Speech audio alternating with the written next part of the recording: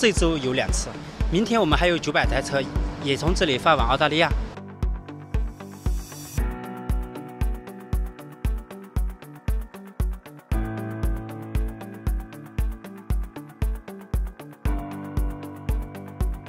新能源增速还是比较大的。从二零二二年的话，其实新能源的占比应该是在百分之十六左右，在二零二三年的话，可能要提升到将近百分之二十五。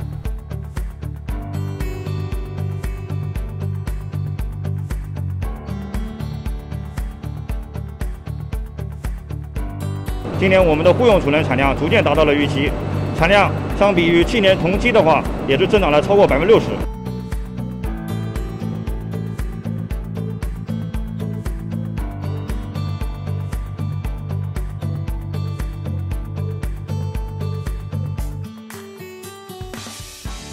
国家也是利用好传统的制造业的啊产业链环节比较紧密、配套比较完整的这样的一个优势，快速的在这个新三样的产业上面取得了非常好的这个优势。今年一季度，上海市电动载人汽车呃出口额同比增长超过一倍，出口锂离子电池增长了百分之两百多，太阳能电池也增长了百分之五十七。